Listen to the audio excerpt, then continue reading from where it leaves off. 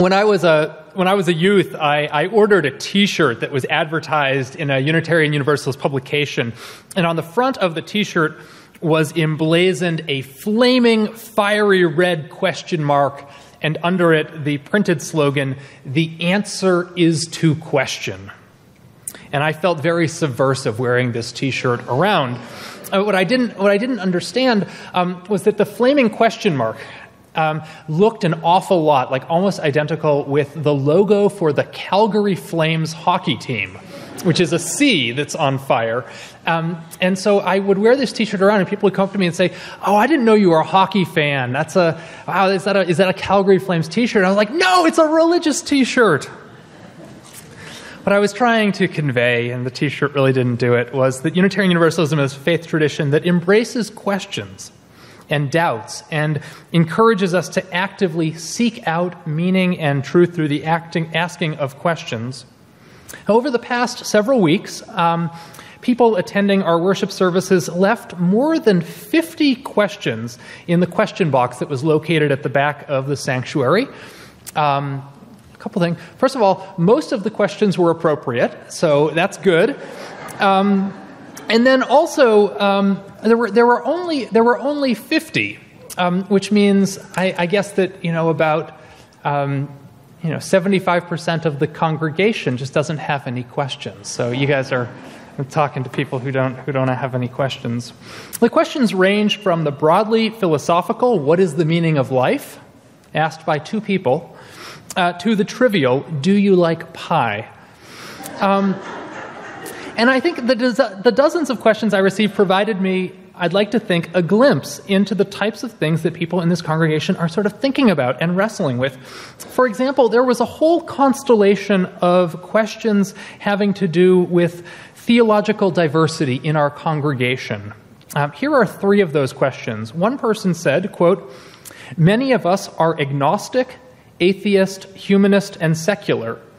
Do you think you do enough to acknowledge our approach? A second asked, Why are you used so against any references to the Bible?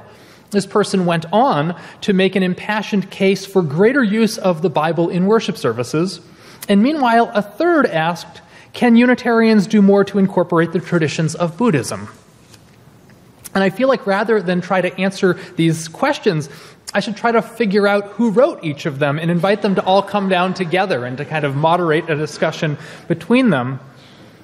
I remember uh, when I was just starting out in ministry, I was curious about how the church I was serving was with kind of traditional churchy language.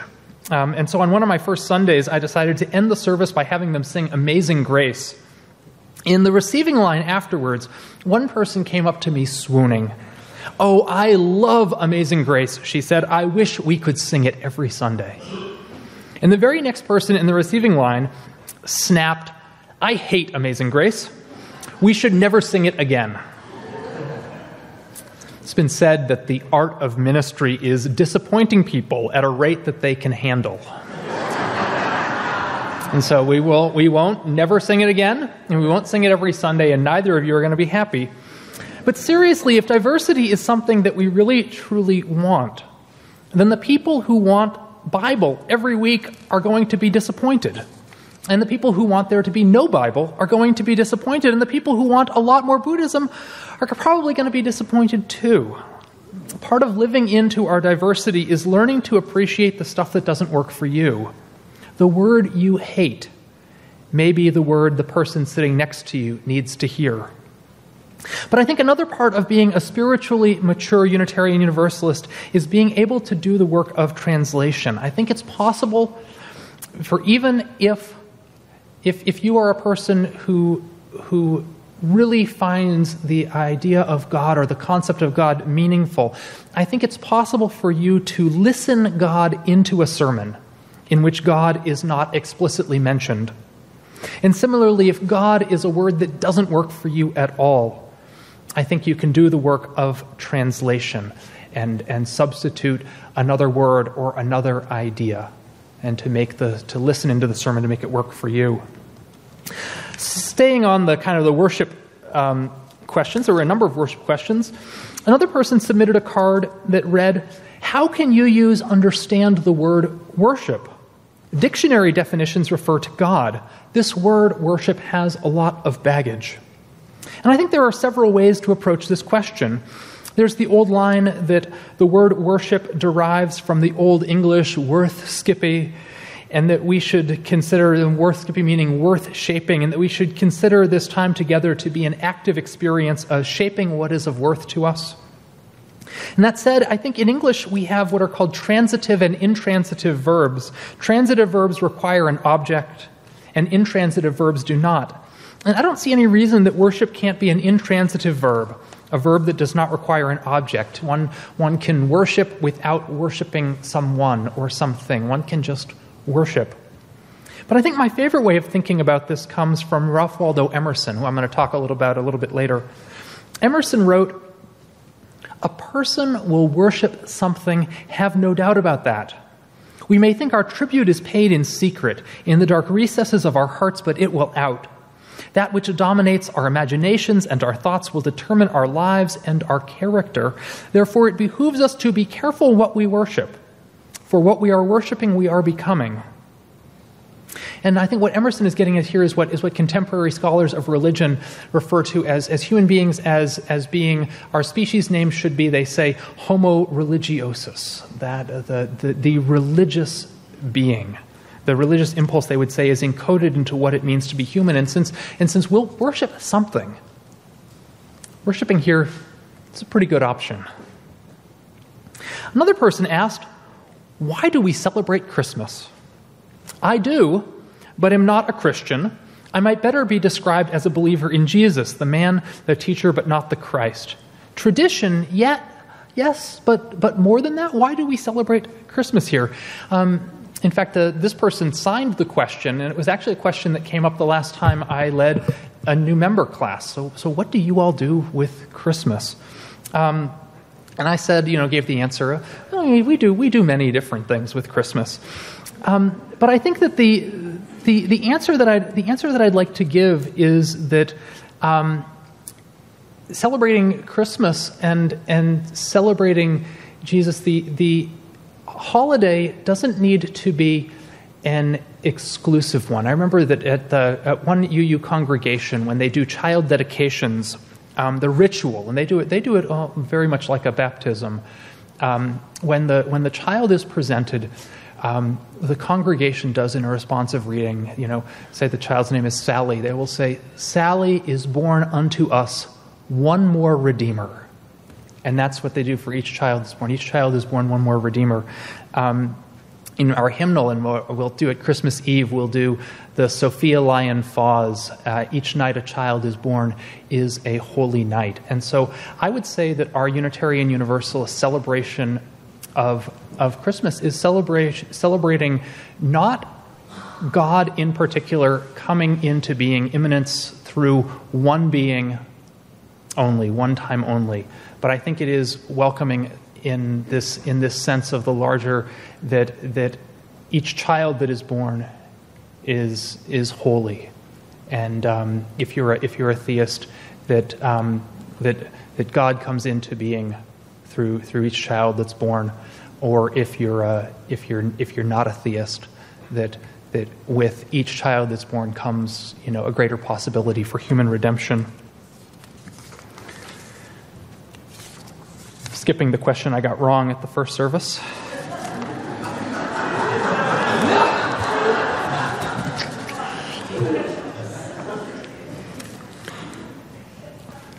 It was my longest answer, and the, the answer was really should have been I don't know. Um,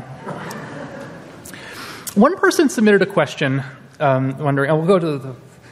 One person submitted a question wondering if I had a favorite piece of UU trivia. Um, and, and I do, and it's, and it's actually one that's, um, it's really startling. So allow me to read you a quote by Robert Richardson uh, that happens in his biography, his wonderful biography of Ralph Waldo Emerson. Richardson writes On March 29th, 1832, the 28 year old Emerson visited the tomb of his young wife Ellen who had been buried a year and two months earlier. He was in the habit of walking from Boston out to her grave in Roxbury every day. But on this particular day, he did more than commune with the spirit of the departed Ellen. He opened the coffin. And so, my favorite bit of UU trivia is that Ralph Waldo Emerson, on at least more than one occasion, on at least two occasions, went to a cemetery to dig up the remains of his relatives and to open the coffin and to look upon them. Richardson goes on to say this about this experience that Emerson was, quote, casting off old ties and embracing new ideas and new possibilities. Coming face to face with the dead forced Emerson to choose between the dead and the living. His sermons for April are insistently this worldly. He talked on successive Sundays about the virtues near at hand, the pleasures near at hand, and the God of the living. And so, my, my favorite bit of, of UU trivia, I'm not sure why it's my favorite, but the kind of most striking bit of UU trivia um, is that this actually was something that, that we have records of, of many of the Unitarians of that day doing as a kind of a spiritual reflection, that they would go and dig up family members and open the coffin and would remember that as a, um, as a kind of a reminder to, to live forward rather than, rather than live backwards. Interesting, huh? Interesting, huh? One person submitted a card with a request that I please explain my views of after death. Um, and, and so I, would like to say what my views are, but I'd, I'd like to say, you know, like, if it could be anything, here is what I would like. Um,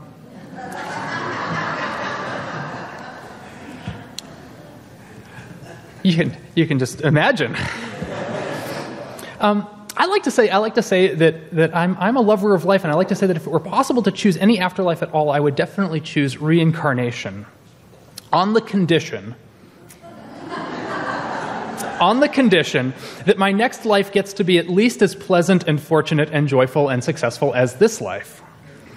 Um, in the grand scheme of things, you would think that any of us here any of us here, it would seem, must have, you know, hit the jackpot more or less to be able to live the life we're living and not any of the other possible lives that are, um, you know, immeasurably worse than our own life that we could have lived. The odds, if you look at the course of human history, the odds are not in our favor to have a life as, as good as this one. So, yes, reincarnation in the next life, as long as it turns out to be at least as pleasant. But the odds are not in my favor. In reality, though, I don't, I don't personally believe in an afterlife. Um, it's, not a, it's not an idea that, that resonates with my own theology, um, although I do respect those who do hold such a belief or imagine such a reality. Um, and, the, and I know from from pastoral conversations the number of Unitarian Universalists who do um, believe in, um, you know, a soul's life after death or a heaven um, is uh, larger than many of us would guess. Two different cards were submitted asking me to comment on a theology of evil. Um, those cards included questions like What is evil? Define evil according to the UU Church? Do you believe there is ultimate good and ultimate evil? Or do you think that things are just relative, just what people think it is? Where are good and evil located? From without or from within? Um, so I'll say, in my own personal theology, I reject the idea of evil as a motive force in the universe. There is no kind of, there's no kind of spirit of evil or evil being that, that travels around um, and causes trouble or inhabits people. Um, I understand evil in human terms, but I don't reject the term evil. I, I am generally for its use, and I think that the word, the word evil can be used really quite effectively. Um, for me, evil has, has, I'd like to think of it as having three constituent parts. First of all, for an act to be evil, it has to have volition, it has to be intentional. An accident can't be evil. Um, second, it has to inflict significant harm. We don't want to use the term evil to describe things that aren't you know, significantly harmful. And, and third, um, the action has to be, and this is where you get into different, different ideas, it has to be, um, we have to decide that it's unjustifiable. And that would seem like a working definition. So, so genocide and, and terrorism and torture and um, attacking an abortion clinic would all be evil. And I'd also use the word evil to um, describe the actions of that, that person who made the news back in September, the man who, who bought up the rights to market an AIDS drug with the intention of increasing the price by 4,000%. That, that, that, that, would, that would strike me as, I would, I would call that action evil. Um, that it, it is intentional, it inflicts harm, and it is, and I would term, I would, I would use in my own moral, my own moral compass would call, would call that action unjustified and unjustifiable. But I think that there's also a larger question about evil, um, and, and which is the question about whether evil is systemic or whether evil is individual. Um, does, does, evil, does evil exist because of systems that kind of um, allow for it and, and kind of create it. You know, we think of we think of institutional racism as a systemic evil, as as sexism as an institutional evil, um, perhaps you know economic systems as furthering uh, evil outcomes, or is or is evil something that's done by an individual actor, and so we address it at the level of individual. Um, Reinhold Niebuhr, famous Christian theologian, wrote a book probably in the 1930s called moral man and immoral society. Moral man and immoral society. And Niebuhr made the case that, that individually, as individuals, we are, we are good.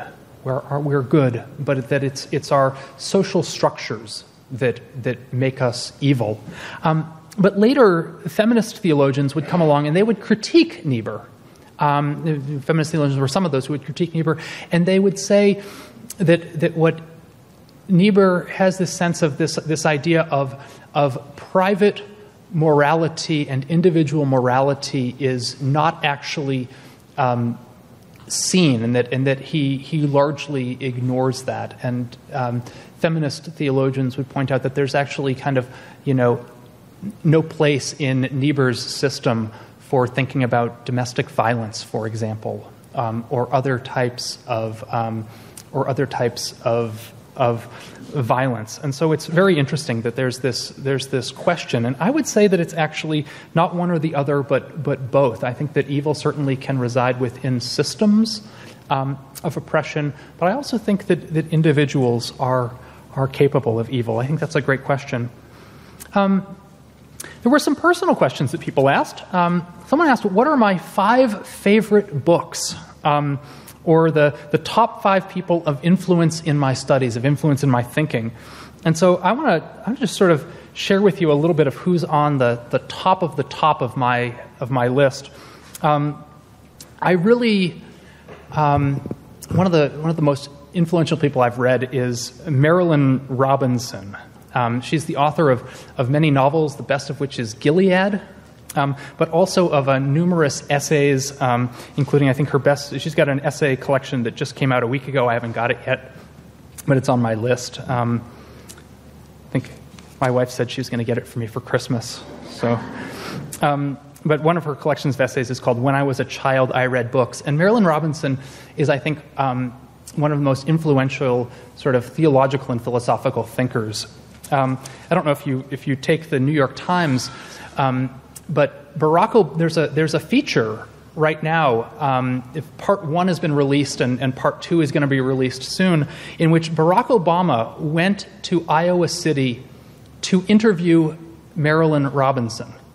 And so it's this whole, you can listen to it, of Obama sitting down with Robinson and him asking her questions. So you know you've got good stuff when the President of the United States is choosing to interview you. Wow. Um, in terms of scholarship, um, I, I, think there are, there are no scholars more exciting than Jeffrey Kripal. Um, the most latest, one of his most recent of his books is, is called Mutants and Mystics, and he writes about religious experience um, in a way that I think is, is very uh, lively and creative.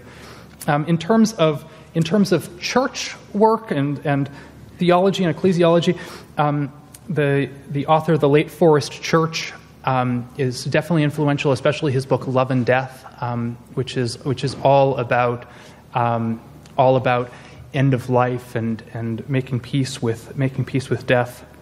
In terms of, of social issues, especially anti racism, um, I've read everything by Tim Wise. Um, we did a, a, reading group here called one of his books called uh, um, not Learning to Be White, but, uh, but White Like Me. Um, Tim Wise. And then, in terms of kind of arts and creativity, one of my favorite authors is Dave Eggers. I've read everything by him as well. And um, Eggers is um, the author of, of, a memoir, The Heartbreaking Work of Staggering Genius, and also a um, kind of a, a biography of a Sudanese lost boy called What is the What, but he's also the founder of this press, McSweeney's, that I'm, that I'm deeply in love with. And, and he does all of this sort of arts and creative stuff um, in a way that's that's wholehearted, that's that's non both both. He's not he's not cynical. Um, he's positive, but he's not afraid at combating the the the evils of the world, and he doesn't doesn't shy away from that. Um, but he is uh, he produces and supports optimistic, creative art, and and I love that. Of all of the more than 50 questions that were asked, the single, and I've got about a few minutes left, so we'll, we'll keep going. Of all of the uh, questions that were asked, the, va- the, the plurality of them dealt with issues of justice making and how, as individuals and how, as a congregation, we can um, be both, both more effective and um, more involved in justice making. I'm going to kind of read those, those questions here um, in no particular order. People, people wanted to know what are your thoughts on the education achievement gap between black and Hispanic kids and white kids in Chapel Hill schools? How can we join with our religious communities to catalyze change in our society? How can we combat our nation's surge in intolerance to migrants and refugees following the Paris attacks? How can you use address the plight of Palestinian suffering? What help can we give the homeless at the curb? And what is the best way personally of engaging with homeless persons in our community? Do you have ideas of what we as a church community could do to help with the Syrian refugee crisis? What's a good way to counter ISIS? How can we be um, a, an effective uh, voice for gun control? I say, wow. That's um, about 20, percent of the cards that we received dealt with, dealt with that. Um,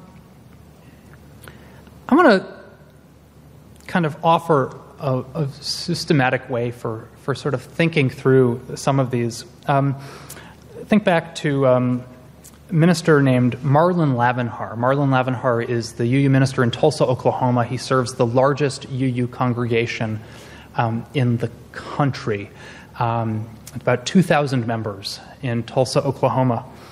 And um, I, once, I once invited him to come speak and, um, and, and, invited him to kind of charge, to kind of fire up the congregation that I was serving.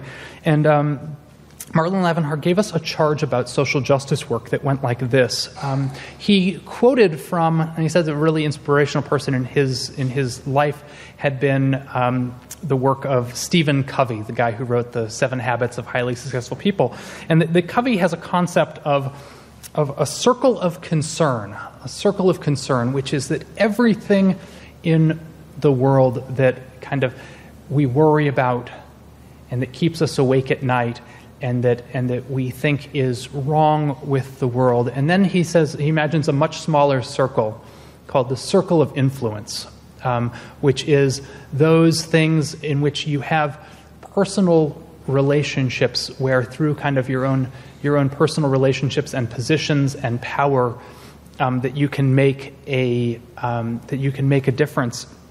And so um, what, Mar- what, Marlon said was that in his in his church, what he did was um, he instituted kind of a rule that the the church would only pursue social justice activities so long as the people doing it could prove that they were acting out of a circle of influence, acting out of their circle of influence and not merely out of their circle of concern. Covey calls the that people who kind of live in the circle of concern are live in, live in reactivity, and people who live in the circle of influence live in proactivity. Um, but so, so Marlon said that you know those those types of questions that you come like if we go you know what is a good way to counter ISIS, um, I will tell you that that we could spend a lot of time as a congregation coming up with the right answer to that question, and we'd have very little to to show for it, and and we would get pretty frustrated.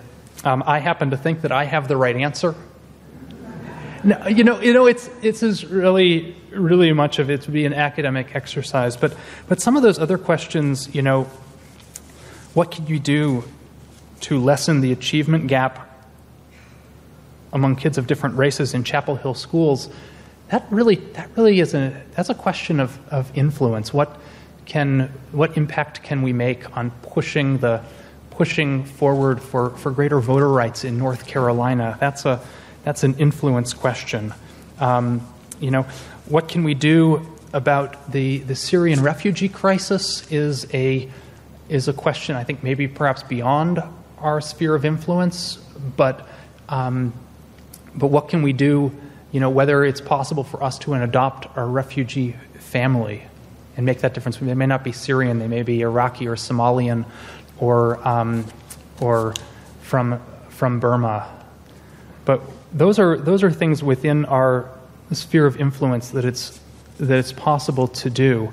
And so I would um, I would actually invite us all in, in at this time of kind of discernment. It's it's clear that we have this this common longing that that I invite you to be in discernment with me about kind of what what are the what are the, the places that where where we can actually move. And one of the things that, that Marlon actually said was that that when you do it that way, that you're actually when you work within this the circle of, of, of influence, that your influence actually grows grows broader. That that circle that that circle expands. Um, so I, I, share with you that that question. Um, and so with that, I will also say that my favorite pie is key lime. And um, I invite, uh, thank you for the questions, and uh, I hope that, uh, I hope that you enjoyed my attempts at answers.